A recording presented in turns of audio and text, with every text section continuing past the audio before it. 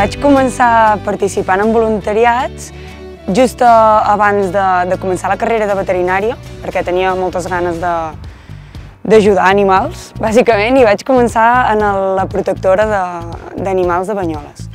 I anava allà els caps de setmana i bé, anava a passejar els gossos, estava amb ells i, i això. I després ja arrel d'aquí sí que em vaig anar enganxant a, a altres voluntariats.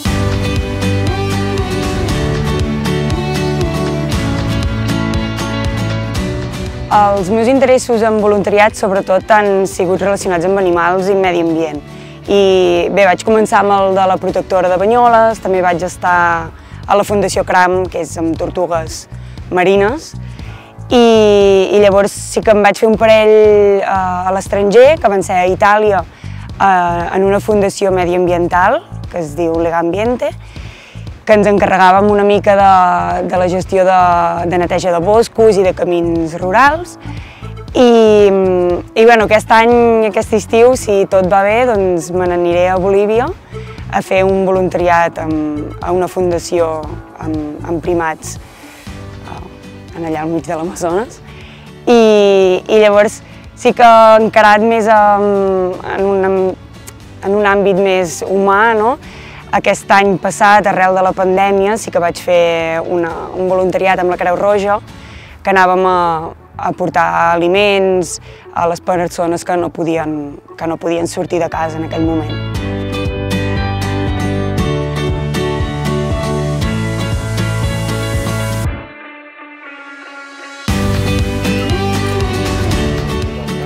Els valors que crec que podria aplicar que he après en el, en el voluntariat i que podria aplicar en el futbol i a l'inversa.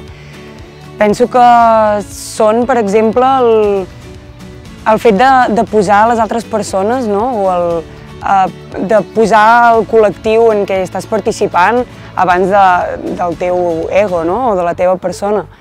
I, per exemple, quan vas a col·laborar en un voluntariat, evidentment tu estàs servint en, el, en les altres persones o en el, en el col·lectiu allà on te vols anar. I en el cas del futbol, no? a vegades també doncs, et fa mandra, fa fred i dius, ostres, avui em fa una mica més de mandra anar a entrenar, però, però dius, no, estic, estic compromès amb l'equip i, i vull donar-ho tot, llavors és aquest esforç personal o, o fins i tot a vegades quan saps que no jugaràs un partit o, o que fins i tot no estaràs convocat en aquell partit, però aquella setmana ho donaràs tots els entrenos, per molt que costi, no? però, però tu estàs compromès i, i vols donar-ho tot igualment, perquè saps que el teu rol aquella setmana potser serà un altre. Serà el d'ajudar les companyes, serà d'estirar les companyes o, o col·laborar en els entrenaments per donar-ho tot perquè el ritme d'entreno sigui, sigui del 100%. No?